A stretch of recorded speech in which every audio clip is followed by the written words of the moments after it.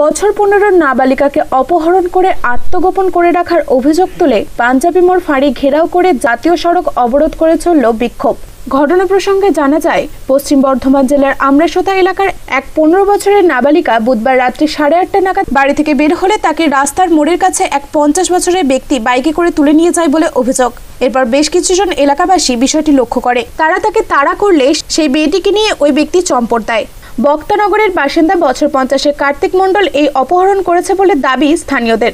এরপর পুলিশ কার্তিক মণ্ডলকে জিজ্ঞাসাবাদের জন্য আটক করলেও ওই মেয়েটির কোনো খোঁজ পাওয়া যায়নি। বৃহস্পতিবার এই ঘটনার পরিপ্রেক্ষিতে বাসিন্দারা রানীগঞ্জ, পাঞ্জাবি মোড় ফাঁড়িতে হারিয়ে যাওয়া মেয়েকে উদ্ধারের দাবিতে বিক্ষোভ দেখাতে থাকে। তারা জাতীয় সড়ক অবরোধ করে বিক্ষোভ দেখায়। পরে ঘটনাস্থলে রানীগঞ্জ থানার ওসি ও পাঞ্জাবি মোড় ফাঁড়ির আইসি নাবালিকা মেয়ের পরিজন প্রতিবেশীদের মেয়েকে খুঁজে বের করার আশ্বাস দিলে পরিস্থিতি স্বাভাবিক হয়।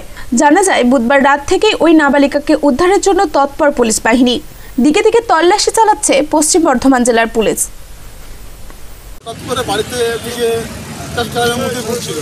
সে হঠাৎ করে বেরিয়ে যায়।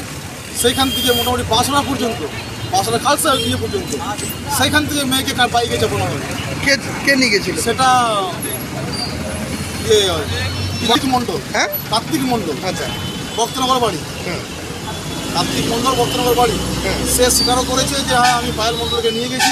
পায়েল মণ্ডলকে কখনো বলছে আমি মেলায় ছেড়েছি কখনো বলছে জঙ্গলে ছেড়েছি কখনো বলছে এই মানে কি কি কারণে তারা এখানে গেছিল? তাকে বাইক নিয়ে গেছে। কি হয়েছিল? মেয়ে মেয়ে ওখানে গেছিল, মেয়ের একটা শরীর মেন্টাল দিয়েছিল শরীর খারাপ ছিল মেয়েটার। আমরা না থাকাকালীন আমরা মেলা ঘুরতে গেছিলাম, সে দেখছি বাবা, মা বাবা বাড়িতে নেই। সে জায়গায় মেয়েটা শরীর খারাপ ছিল সেই জায়গায় মেয়েটা বেরিয়ে রাস্তা ভুল বুঝতে পেরেনি। আমি কোন দিকে যাচ্ছি? সেই অবস্থায় মেয়েটাকে ওঠানো হয়েছে। সেইভাবে ওঠাই বাস, যে কাজটা হয়, সেই কাজটা করেছে ওরা। তারপর কি ওই লোকগুলোকে কি ধরতে পেরেছে পুলিশ? লোকগুলোকে পুলিশ অ্যারেস্ট করেছে আলিগঞ্জ থানা। কিছু জানা গেছে? কি জন্য আজকে আপনাদের ইয়ে?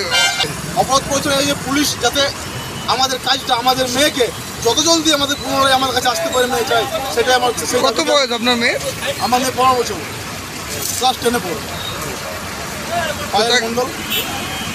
মনে হচ্ছে তাই। কি? মনে হচ্ছে তাই। অপহরণের চেষ্টা। আসানসোল থেকে সৌমিত্র গাঙ্গুলির রিপোর্ট আনন্দ বার্তা